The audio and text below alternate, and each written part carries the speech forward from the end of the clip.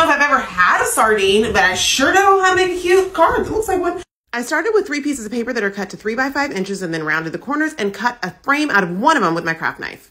This little handheld craft knife is so smart. Oh, giant roll of foam tape. I put that foam tape all around one of the pieces of paper and then put the frame right on top. This is starting to look like a sardine can because we put all that tape in there. And now it's got a little bit of little lift. But I just realized this is showing. So let's cover it up with a little teeny strip of paper. And it's homemade, so it's okay if it looks bad.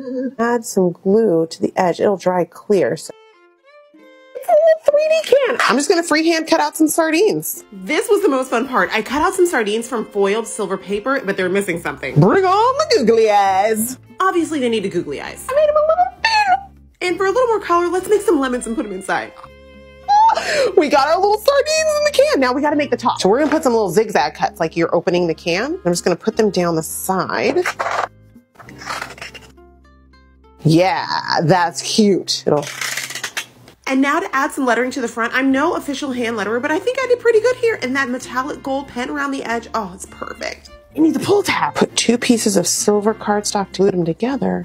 Little details like this pull tab just make it so much more fun. And then we'll just use our favorite glue. Glue's so good it's stuck to my pen.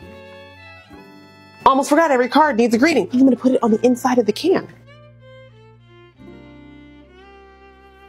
Oh, so cute, right? And here's the thing. Come on. It sounds like a can when you open it because of the zigzags. Going to use a removable tape runner so that it'll stay closed but also open easily. Let's open it one more time.